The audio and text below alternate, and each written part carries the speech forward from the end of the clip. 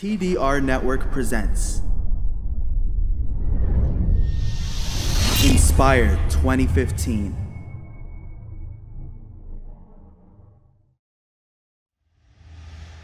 The American inventor Thomas Edison, he once said, I have not failed. I've just found 10,000 ways that won't work. I've not failed. I've just found 10,000 ways that won't work. In the sense, he failed 10,000 times. But it's all right. I've just found out that, you know, these 10,000 ways won't work. And let's move on to 10,001. This is it. It's a learning process. You learn through your mistakes and your experiences. There was once a uh, shipping company, and they had a, you know, a, fleet of ships, huge uh, freight shipping company, all right? They had a fleet of ships, and one of their biggest ships had some engine problems, engine failure. And then they started to look around, go around for engineers to repair this problem. And so many engineers came in, all these, you know, big names. They all came in and they tried to, you know, make the, you know, revive the engine, but no one could do it. And this was one of their biggest ships, and it meant a lot. They were losing a lot of money by keeping their ship docked at the harbor. So they started to look high and low, search for a, an engineer, uh, somebody to repair the engine.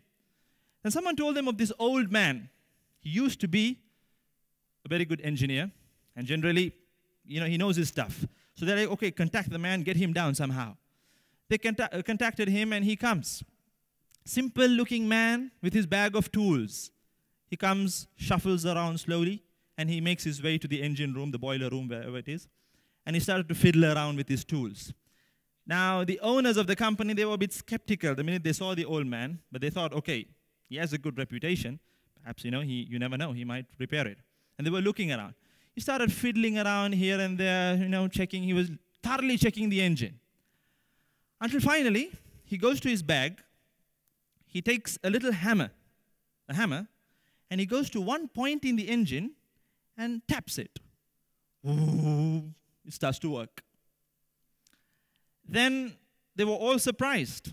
The man, you know, packed up everything and started to leave. So then they asked him, What about your bill? He said, I'll post you my bill. He goes, a few days pass, and the bill is posted to the company. One of the managers opens up the letter and sees the bill amounts to $1,000. They were surprised. This man, he just came in. What did he do? He didn't do anything. He just came and tapped. For that, a $1,000? Seriously? So they write back to him saying, we need, we require an itemized bill in the sense we want to know why, you know, it's costing a $1,000.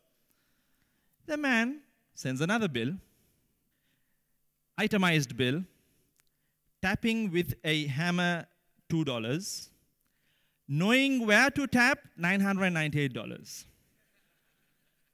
So it's a learning process, you know? Life is all about gaining knowledge and experiences. And through experience, you can learn so much, especially through our mistakes, you know? Like they say, your, the best teacher was your last mistake. The best teacher was your last mistake. Because you're going to learn so much. You're not going to, you, go, you, you will obviously tell yourself that I should not make that mistake ever again. Why should I fall into the same pit again? So the best teacher for yourself was your last mistake. Donate now. Go to thedailyreminder.org slash donate.